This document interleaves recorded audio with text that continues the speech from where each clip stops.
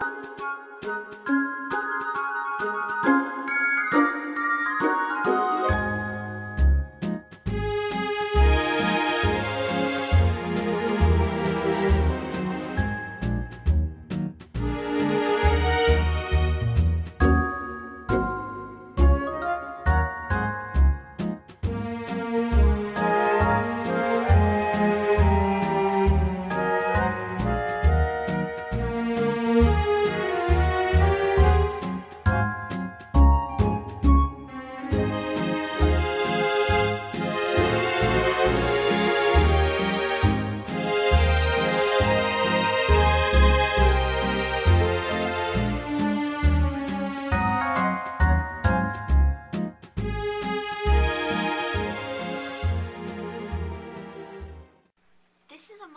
of our avalanche. We made a ramp so when the snow falls, it will be actually like an avalanche, and we will try to get the man out before he gets stuck. This is the starting zone, this is the track, and this is the run out zone.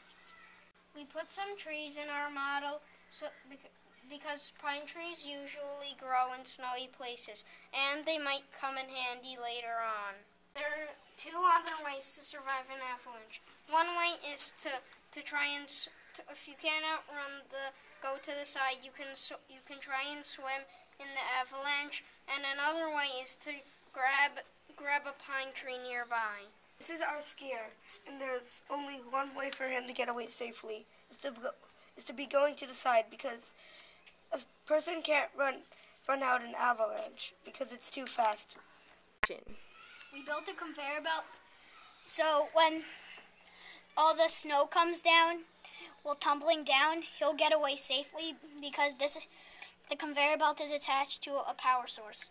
Now we're going to demonstrate how it works.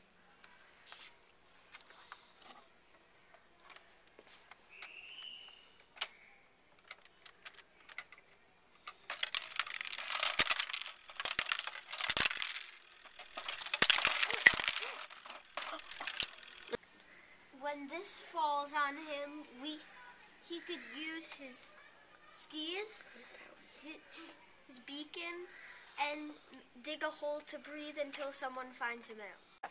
If he if he gets covered, he has 15 minutes. If he's he has 15 minutes to survive if he's under an avalanche. One, two, three, four, five, six, seven, eight, nine, ten, eleven, twelve, thirteen, fourteen, fifteen. Hooray! Yay!